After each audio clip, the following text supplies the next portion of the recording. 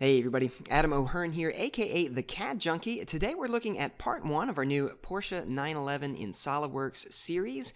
That is the wheel and tire portion of the tutorial, and it is going to be wicked. It is a lot of fun. We're going to start with some really nice reference imagery uh, that I found online, as well as real world specs that I looked up.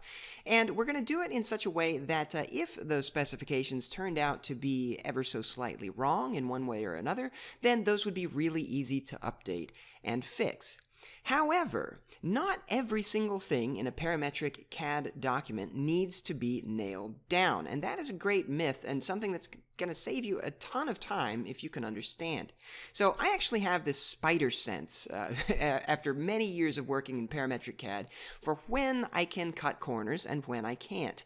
That's one of those things we're going to try to cover in this series. We're going to talk about what kinds of things really need to be nailed down and what kinds of things we could get away with kind of just slapdashing together to make them look nice in the final model.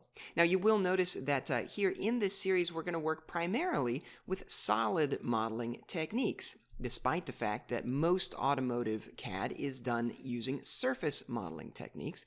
The reason for that is because I actually did it both ways before recording, and I found that uh, with, with this specific wheel, I could do it in uh, less than half as many features and less than half as much time using solid modeling as opposed to surface modeling. However, there are certain areas on this design, like the one I'm showing right now, where surfacing is necessary, and I'm going to show you some really nice techniques for getting that done efficiently without a whole lot of trimming and splitting and deleting faces and stitching things back together. We're going to do it in a very quick, efficient, clean way. Now, in this series, we are also going to model the tire, which is possibly the most fun part of the entire thing because we're going to include all kinds of extemporaneous and uh, completely unnecessary data, really mainly just, uh, just to sell the image in the final visuals. It makes such a difference to have lots of little details because it really helps make the image look that much more real.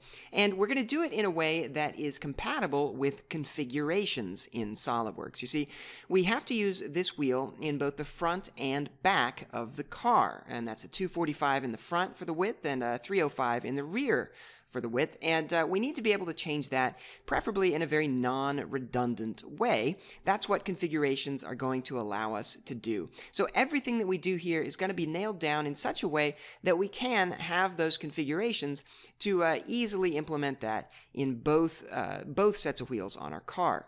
Now, there are going to be some mistakes made along the way, and I am going to include those in their grisly detail because I think it's really helpful to understand that uh, working in SOLIDWORKS is never going to be a linear process. There's going to be back and forth and learning as we go. Should be a lot of fun. We'll see you soon.